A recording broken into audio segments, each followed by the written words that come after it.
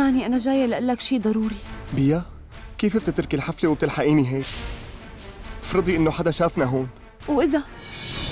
لإمتى رح تضل واقف هيك عم تتفرج علي وأنا عم بتدمر؟ اليوم حفلة الحنة وبكرة الكركم واللي بعده رح كون متجوزة. وين حبك لإلي اللي كنت تحكي لي عنه بوشكر لو سمحت لو سمحت طالعني من هون. أنا اكتشفت إني كنت غلطانة وما بدي أرجع أعيد هالغلطة مرة تانية. بوشكر لا تفكر إنه هالزواج رح يخليني سعيدة. ما حدا رح يرتاح أبداً. اسمعيني شوي ما بدي إياك تحكي معي وتهديني بوشكر. إذا ما كنت حابب تنقذني من هالزواج عادي.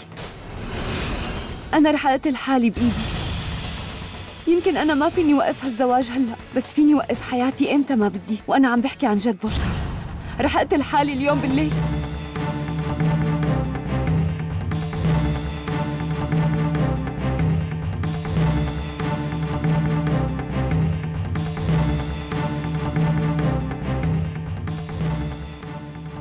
فهموني شو عم تساووا هون؟ الحفلة رح تبلش والعالم كلياتهم عم يستنوكم شوفي خلونا نمشي. اليوم بدي إياك ترقص كتير إيه؟